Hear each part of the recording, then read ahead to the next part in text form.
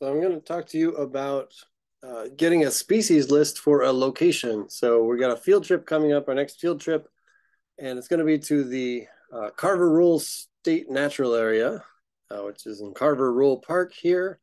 Uh, Clinton, not too far south, mostly of Whitewater. So uh, here it is on a map. I just did a Google map search to locate the place we're going to be.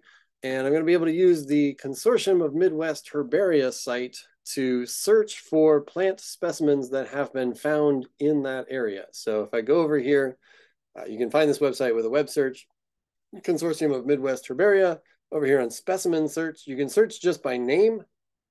And we're going to do map search. So click on map search. It's going to pull up a map. Uh, we're back familiar territory. I guess we have to zoom in quite a bit here. So tuck in. Uh, find our bearings, Fort Atkinson, Whitewater. Uh, zoom in a little bit more. There we go, Clinton. Uh, and here's our park. I don't know if you can see where the mouse is right now, circling around Carver-Roehl Park. Uh, I'm going to zoom in a little bit more, and you can get as specific as you want. Uh, maybe if you want to look for plants that could be found in similar habitats, you might extend out your uh, your your box we're going to draw, or you could just draw and say, I want to know exactly what's just in that park. Uh, so open search panel here. And nope, I'm sorry. I always have to kind of remember this again. So in the middle here, I'm going to go up to uh, draw a rectangle. And I'm going to draw just a little, a very generous rectangle around that. Uh, maybe someone was just outside the park and collected a species that might be interesting to us. Uh, then we do open search panel, map options. Uh, where are we at here? Okay, so let me try this one. I, I always have to remember how this goes.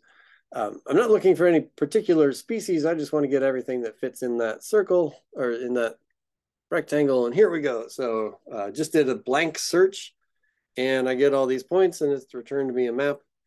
And I can click on one of these. Uh, if you have multiple site or multiple collections from the same points, or depending on the uh, the scale you've got your map at, um, we got four at least specimens that are tracking to that location here. So click on, this doesn't always work for me.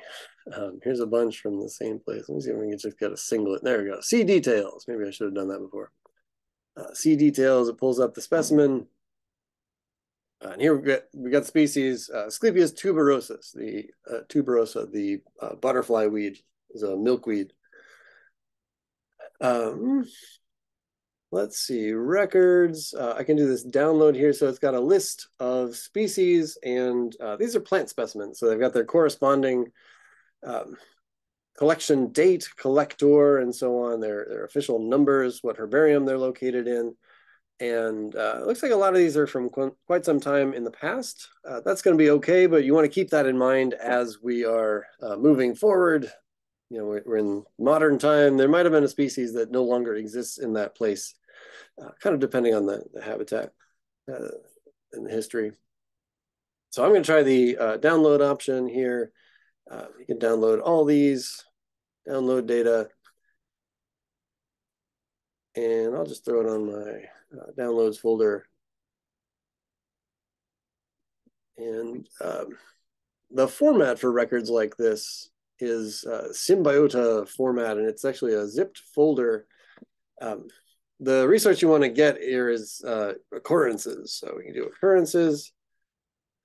And uh, this is a comma delimited file. You can pull this straight into uh, Microsoft Excel if you wanted to. I guess we got some time here, so I will uh, fire up Excel and see how that goes. Okay, so uh, we've got Microsoft Excel open. You can also do this in uh, Google, like a Google Sheets document. Um, just open a blank workbook and I'm going to uh, do an open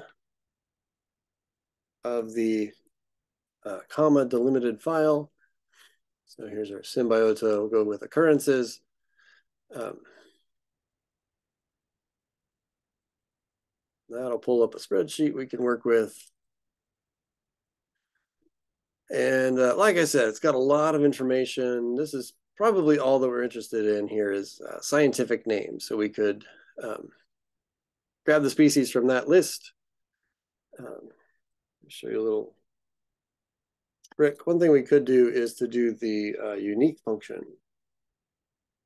and just say, uh, return for me all the unique names in column O. So between O and O, um, spill, baby.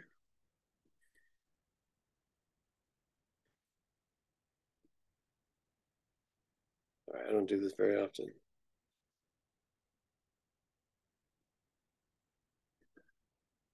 All right, I'll be honest, I forget how this works. Fill it out. Oh, it's still not happy. like it knows what it wants, but uh, okay. Well, uh, let's skip that for now. But we could uh, sort this by alphabet and get a, a, list of the unique names that are present there. Um, one thing you might want to just check out is uh, you could take these species and, and kind of prepare yourself to what you're going to see in the field. Let me see if I can find a, a little more interesting one. Um, uh, all right, Desmodium glutinosum. Sure, we ran into that one of the other habitats. Uh, you could just do a quick web search on your species name.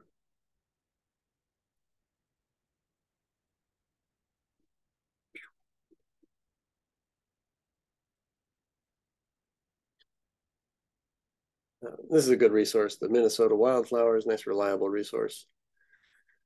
Um,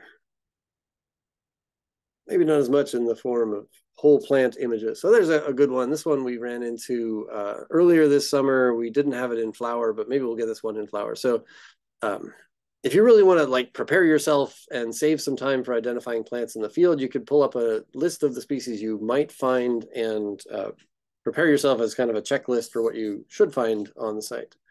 So uh, I'll have a list for you on uh, for our next field trip, and you can use that then.